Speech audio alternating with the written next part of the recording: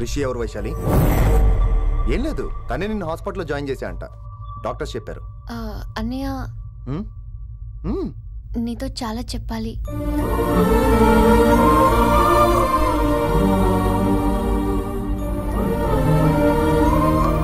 నువ్వు డాడీతో ఏం చెప్పుకుంటావో నాకు తెలీదు. రిషి లేకుండా నేను ఒక్క రోజు కూడా ఉండలేను. రిషిని వదిలి నేను నీతో రానన్నయ్య. Please understand.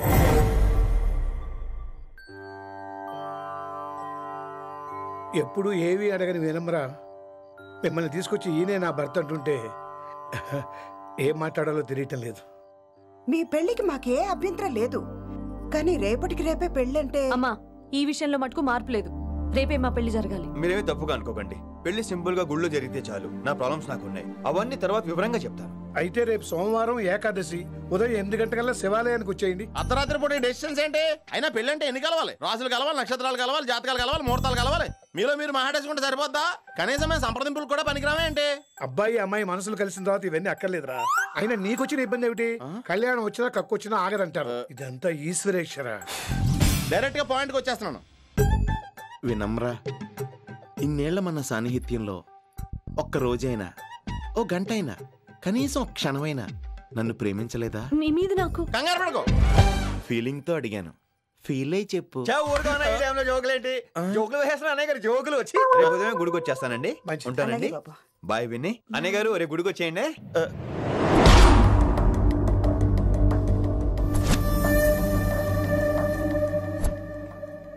Vaishu hey Rishi అన్నయ్య this is Rishi hi Rishi hello చెయ్యి చాలా రఫ్గా ఉంది. మీరు నిజంగా కాలేజీలోనే పనిచేస్తారా? ఏం లేదు. హిందీ లెక్చరర్ అంటే కబీర్ దాసో కాళిదాస్లోనో ఉంటారనుకున్నాను. మీరు కత్తిలా ఉన్నారు. Nice meeting you Rishi. Same here simple Rishi. మాకు వైషు కావాలి. వైశాలికి మీరు కావాలి. అంటే మీరు కూడా మాకు కావాలి. వెల్ రిషి డాడీతో మాట్లాడాను. డాడీ మీతో మాట్లాడాలి మిమ్మల్ని చూడాలంటున్నారు. సో మనం రేపే బయలుదేరదాం. రేపా? యా రేపే. ప్రాబ్లం వైషు? ప్లీజ్ రిషి అన్నయ్య ఆల్రెడీ డాడీని కన్విన్స్ చేశాడు. డాడీ మూడ్ మారక ముందే మనం వెళ్ళాలి. ప్లీజ్. వస్తాను. నీ కోసమేం కాదు మీ డాడీ కోసం కూడా. ఆయన ఎక్కువసేపు వెయిట్ చేయించడం నాకు ఇష్టం లేదు.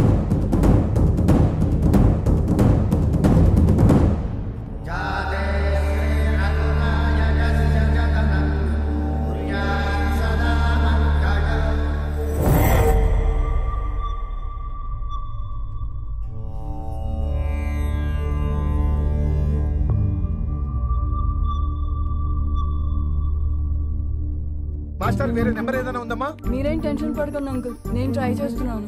గురుగారు గురుగారు మీరు ఇచ్చిన నెంబర్ కరెక్టేనా? నేను అదే కనుక్కుంటున్నాను రా. ఓ.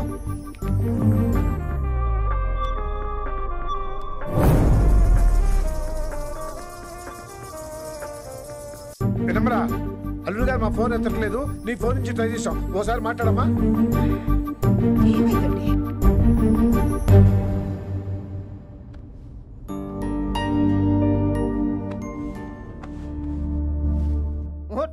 ముహూర్తం టైం అయిపోయి చాలా సేపు అయింది. ఇంతకీ పెళ్ళి కుమారుడు వస్తాడా రాడా? ఏంటి వచ్చేది? ఆడెప్పుడో ఊరోదులు చంపంట. నాకు ముందే తెలుసు. రాత్రికి రాత్రి ముహూర్తాలు ఎట్టుకుని పొద్దున పందిరేస్తే ఇలాగే ఎడుతుంది రే చాలు. ఏంట్రా అది మరి లేకపోతే అంటే మేము మీకు ఆనం. మీకంతా హిందీ మీడియంలో మేరీ భారత్ మహాల్లోనే. అరే ఇంకా చదువుతున్నారంట లేక లేకండి ఈ మాత్రం పెళ్ళి కళామందిర్లో shopping.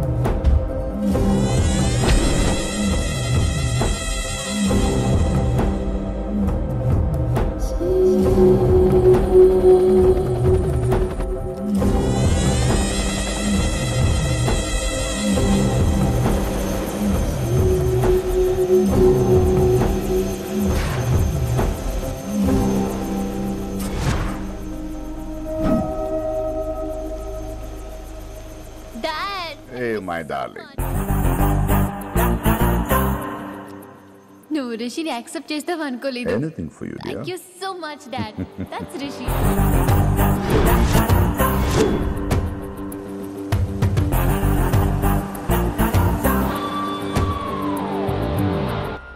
welcome to Bangkok Rishi నిన్ను ఎప్పుడెప్పుడు చూస్తానని వెయిట్ చేస్తూ ఉన్నాను నేను అంతే. వెయిట్ చేస్తున్నాను. రియలీ ఇంట్రెస్టింగ్ బాగున్నాడే? రిషి నేను వైశాలిని ప్రేమతో కాదు భయంతో పెంచాను. అందుకే అది నీ ప్రేమలో పడిపోయింది. అదేం తప్పు కాదు. ఈ జనరేషన్ అంత. ఇంట్లో ప్రేమ దొరక్క వీధుల్లో వెతుకుంటారు అలా చిన్న పిల్లలకు వీధిలో పమేరియన్ కుక్క దొరికినట్టు వైశాలికి నువ్వు దొరికావు. కానీ అది పట్టుకుంది పొమేరియన్ కుక్క కాదు. నన్ను పట్టుకోవడానికి వచ్చిన పోలీస్ కుక్క అని దానికి తెలీదు. ఏంటే? రియాలిటీ షో చూస్తున్నట్టుందా? ఆడ నీ వెనకాల తోక ఆడించడానికి రాలేదు. నన్ను కరవడానికి వచ్చాడు. ఎరా హెలికాప్టర్ దిగంగానే పెద్ద హీరో అయిపోయావా? ఫ్యాన్స్ నీకు మాత్రమే కాదు నాకు కూడా ఉన్నారు. నీ డిపార్ట్మెంట్లోనే ఉన్నారు. గుప్తా నీ క్లోజ్ ఫ్రెండ్. నేను క్లోజ్ చేయమని ఇన్ఫర్మేషన్ ఇచ్చింది వాడే. ఒరే నేను అక్కడే వేసేసేవాడిని కానీ నువ్వు లేకపోతే తను రానుంది ప్రేమంట బొంగు. రే వాడు నీకు మూడవడానికి రాలేదు నాకు మూడవడానికి వచ్చాడు. ఏం తెలుసా నీకు వాడి గురించి ప్రేమ అంట ప్రేమ. ఒరే నీకు బీపీ గానీ ఉందేంట్రా? బీపీ ఉంటే టాబ్లెట్ వేసుకో హార్ట్ ప్రాబ్లం ఉంటే అంబులెన్స్ కాల్ చేసుకో. నేను ఇప్పుడు ఇచ్చే స్ట్రోక్కి నువ్వు హార్ట్ అటాక్ వచ్చి పోకూడదు. నిన్ను ప్రాణాలతో తీసుకొస్తానని మా డిపార్ట్మెంట్కి మాట ఇచ్చాను గుప్తా గారి చేత ఫోన్ కాల్ చేయించింది నేనే.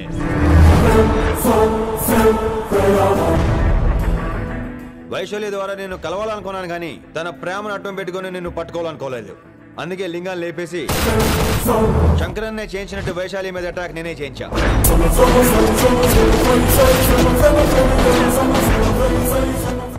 అప్పుడు నువ్వు దిగుతావు అనుకున్నా. వీడు దిగాడు. వీడెళ్ళి వెళ్ళి శంకరన్ నన్ను కలిసే లోపే వాణ్ణి కూడా.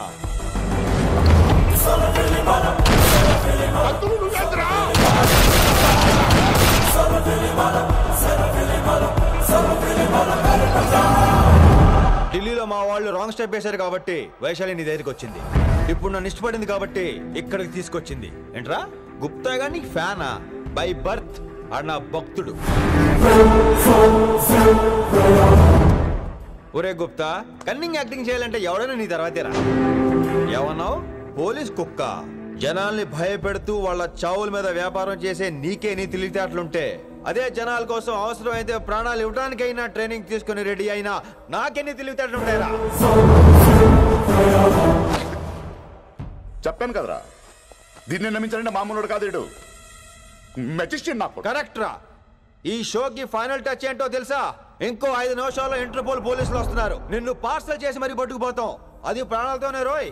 వాళ్ళని తీసుకొచ్చేది ఎవరో తెలుసా? నీ hard core fan Gupta. Are you happy ఈ ఐదు నిమిషాలు బతికేద్దాం అనుకుంటున్నావా ఆ? ఏ ధైర్యంతో వచ్చారా ఇక్కడ? ఏం పీకుదామని? ఇది నా రాజ్యం. ఇక్కడ ఉన్న వాళ్ళు నా మనుషులు. ముక్కలు ముక్కలుగా నరికేస్తారు నిన్ను. రే ఈ ఐదు నిమిషాలు ప్రతి సెకండ్ ఇటు చావాలి. ఎందుకు నా కిట్టుబాయితో పెట్టుకున్నాను? నేను అరిచే అరుపులు హై వాల్యూమ్ నాకు వినపడాలి మామూలుగా చావకూడదాడు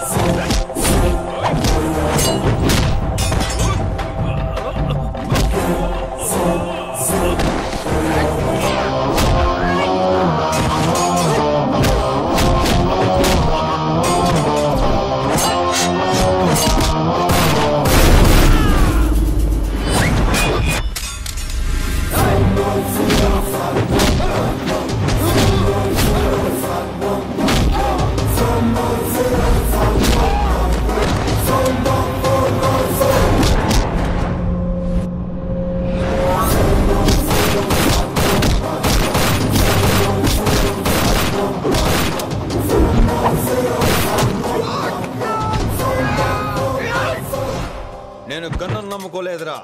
నా దమ్మును నమ్ముకున్నా. రా!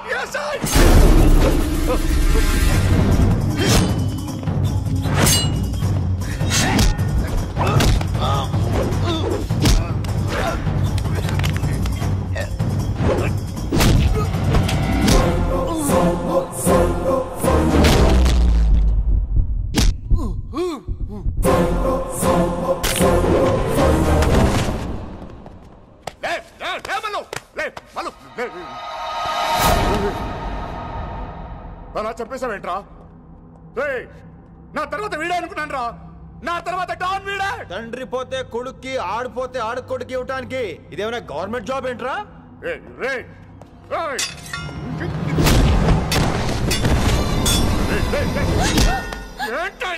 అంతా నీ వల్ల రాయ్. కోతి ఏరు దాటేటప్పుడు తన పిల్లని నెత్తి మీద మోసుకెళ్తుందంట ఎంతవరకు తను మునిగినంత వరకు తానే మునుగుతుంటే పిల్లోను. ఇప్పటిదాకా నేను ప్రాణాలతో పట్టుకుందాం అనుకున్నాను. వైశాలి ఒంటి మీద ఒక ఘాటు పడిన డిపార్ట్మెంట్కి నీ బాడీ కూడా దొరికినవును చెప్పేస్తాను రే. నన్ను ఇక్కడి నుంచి వెళ్ళని. వదిలేయ్ వదిలేయ్. వదిలో. కత్తి పెట్టింది నీ పీక మీద తెలియట్లేదు. వదిలేయ్. వదలను. వదిలేయ్. చంపేస్తాను.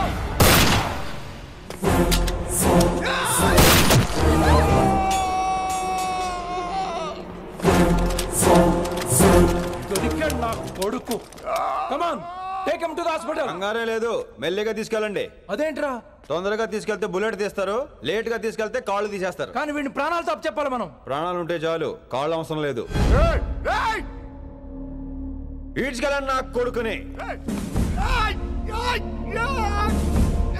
ఫారెన్ పోలీసులు కూడా లేట్గా వస్తారా? వైశాలి